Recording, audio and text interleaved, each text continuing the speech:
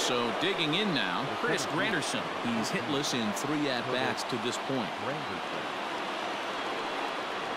Here comes the first pitch.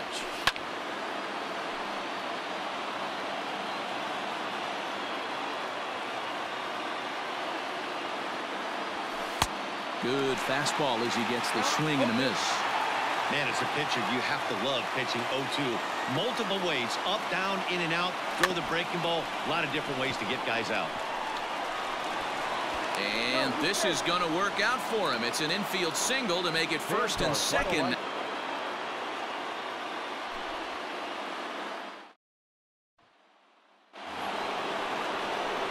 Stepping up to the plate, Curtis Granderson. It's been a nice game for him. Three hits, including a homer to this point.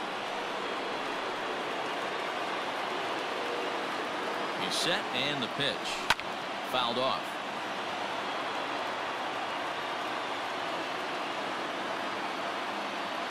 Oh and 1 here it comes. A swinging strike and now it's 0 and 2. Hey this guy's so aggressive I don't think this pitch is anywhere near the zone. Turned on that one and crushed it. Just pulled it a little foul. The 0-2 once more. Misses. That's ball one. He didn't look overly fooled right there because a lot of pitchers will go to the breaking stuff 0-2, but he certainly looked ready for a breaker on that pitch. Fouled away.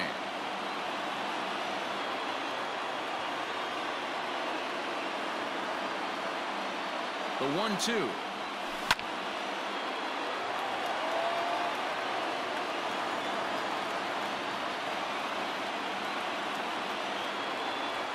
Swung on and missed. He didn't even come close.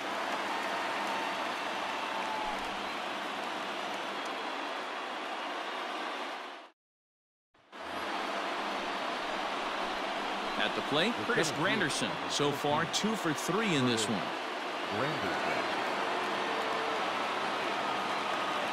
Ready to deliver. Here's the first pitch.